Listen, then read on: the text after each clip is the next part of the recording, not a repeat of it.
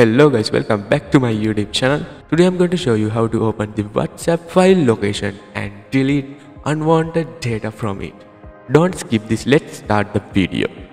Open the settings and let's go to the apps, install apps, C drive.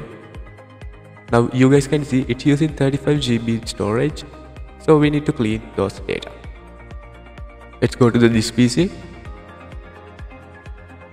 okay. Now copy and paste the file path from the description box. Now go to the search packages. In here type whatsapp. Open the whatsapp folder.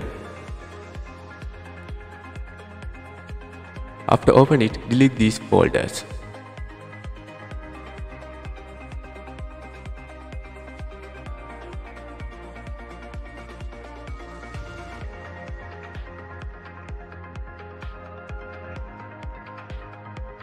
after that close.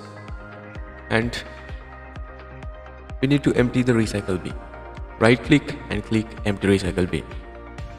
Now it's finished. Let's check the C drive. Yeah you guys you guys can see 94 GB free. So let's move to the settings and check. Let's refresh it. Install apps. C drive. Now you guys can see 230 MB. so this is it.